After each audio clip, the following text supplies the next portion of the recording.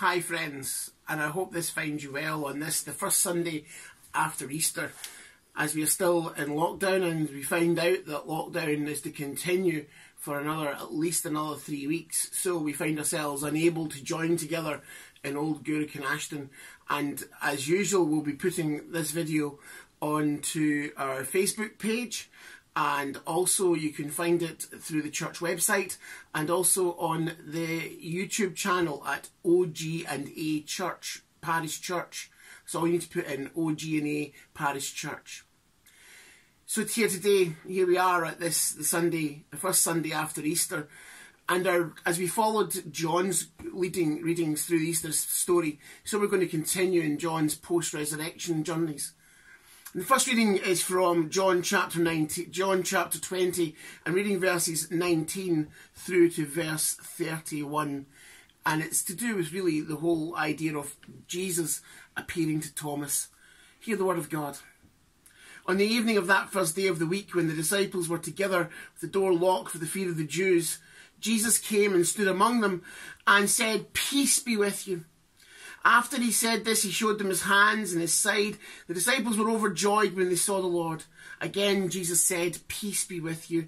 As the Father has sent me, I am sending you. And with that, he breathed on them and said, Receive the Holy Spirit. And then, if you receive anyone in his sins, they are forgiven. If you do not forgive them, they are not forgiven. Now, Thomas, called Didymus, one of the twelve, was not with the disciples when Jesus came. So the other disciples told him, We've seen the Lord. But he said to them, Unless I see the nail marks in his hands, and put my finger where the nails were, and put my hand into his side, I will not believe it. A week later, his disciples were in the house again. Thomas was with them. Though the door was locked, Jesus came and stood among them and said, Peace be with you. Then he said to Thomas, Put your finger here. See my hands. Reach out your hand and put it in my side. Stop doubting and believe. Thomas said to him, My Lord and my God. Then Jesus told him, Because you have seen me, you have believed. Blessed are those who have not seen and yet have believed. Jesus did many other miraculous signs in the presence of his disciples, which are not recorded in this book, but these are written that you may believe that Jesus is the Christ, the Son of God, and that by, by believing you may have life in his name. Amen, and thanks be to God for this reading. The interaction with Thomas, I think, is such a wonderful piece of of theatre within the context of the gospel. The setup is put in place that Jesus appeared to the disciples. Thomas was missing. He'd, he'd missed out on it. He'd missed the chance. And you can understand his frustration. All the rest of them had seen Jesus and he hadn't. And he's always given the title Doubting Thomas. And yet, for many years in my ministry, I've always said it's Thomas I think I identify with most of all in this narrative of the Gospels. Because I think Thomas is where we are. We all have that element of doubt. And it's sometimes portrayed doubt questioning is portrayed as a weakness, and yet it's not. In his wonderful book, The Courage to Doubt, by Professor Robert Davidson, he explores the, the theme of doubt in the Old Testament. Because in the Old Testament, you have the doubts of Moses as to whether or not be able to the, lead the people in the Exodus. There are doubts expressed through the Psalms. There are the doubts and questions of Job and of course Jonah who seeks to run away. There's also doubts expressed within the context of the prophets in Jeremiah and Isaiah. So it is an Old Testament theme of question and doubt. And Thomas is continuing that theme. But what Jesus is doing here is taking away the doubt and healing the relationship. Just now, as we face the horrors of coronavirus, the uncertainty and the dangers that are associated with it, we have doubts and questions in our minds. When we see some of the people it's affecting, when we see some of the issues that are coming up, why and how. And yet, what we are called to do by God is to believe, is to believe that He will see us through us. that to believe that he'll be with those who are suffering most, to believe and put our trust and faith in him.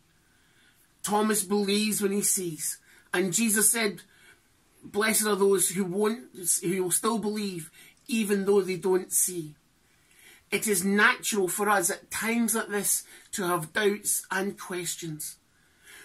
But it is also important that we recognize that in these doubts and in these questions, our faith can be formed and reformed and re-strengthened and refocused in the understanding of what we are called to do, to share God's love, to be the people of God, to reach out to others, to take away their doubts. I'm always wary of anyone who tells me that they've got all the answers that those who say that they know certain things about their faith, faith, I believe, is at the cutting edge of doubt and question and our relationship with God. It's okay to doubt. It's okay to question because in these processes we come to know the full realization of the gift of the living Saviour that is Jesus Christ. Let's come before God. Let's pray. Eternal God, in this post Easter season, which is springtime in some parts of the world and autumn in others, we pray for those who are at time of new beginning in their lives and those approaching an end.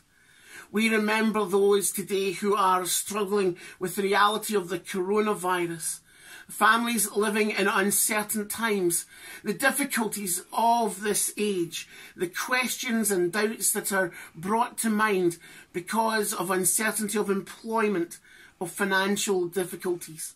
Lord, we bring all these things to you. For some, the Easter message will be easy to embrace if they're celebrating a birth, or recovering from illness, or an escape from danger, or the opening of an unexpected new opportunity. There'll be others who are still in the agony of Good Friday, the empty silence of Saturday, because a loved one has died and will not be returning this side of eternity. Lord, if our faith is to be real, it has to be for the dark days as well as the bright ones.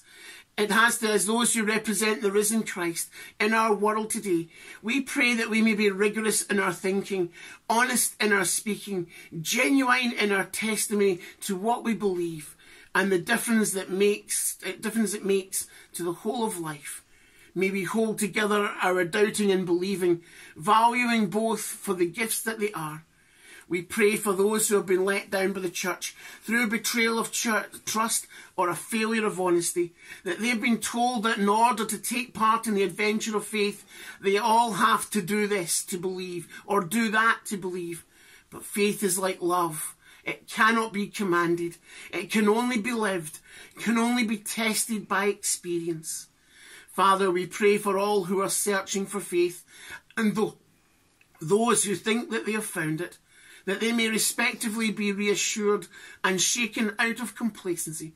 For those who have been let down in the past, that they may take the risk of trusting again and find that you are worthy of our trust.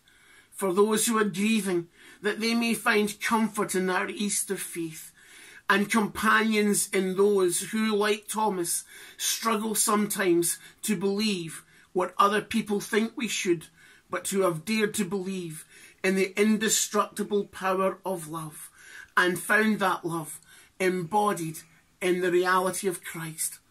Father, we pray for all in the front line of the fight against coronavirus today. We thank you for all who are working hard in our society to seek to make life better for others. We pray that you may bless all in their time of isolation, that they may know that in that journey they are not alone, but that you are their constant companion, friend, and Saviour. Lord, in your mercy, hear our prayers. Amen. So, friends, we continue in our period of isolation. I will be posting something else on another thought for the day on Wednesday, and then also this format that we've developed for each Sunday coming. I hope that you continue to stay safe and well and look after yourselves I hope, maybe like me, you're also struggling with the reality of the need for urgent hairdressing assistance. And just in case you are thinking it, no, I'm not letting Shona cut it, no matter how long it gets. So wherever you are, stay safe, stay well, look out for each other, phone each other, take care of each other, and thank you for being you.